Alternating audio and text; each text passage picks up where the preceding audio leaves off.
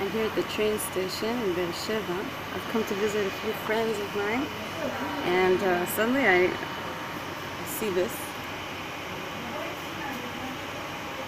This guy is uh, being paid by the, the train station to paint, you know, graffiti paint this piano.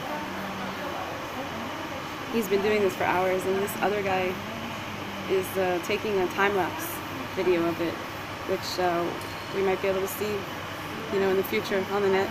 It's probably going to be looking pretty cool. Um, most of the train stations here uh, all around Israel have um, pianos um, so that you can, you know, play while you're waiting for the train. Sometimes people are playing, you know, the piano, just jamming themselves, and it's really cool. So, I bet he's going to be doing this all day. Really talented. I wonder, uh,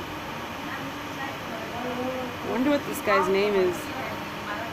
Like, if I can check out some more of his, uh, his art anywhere. Maybe I'll go find out. Have a good day.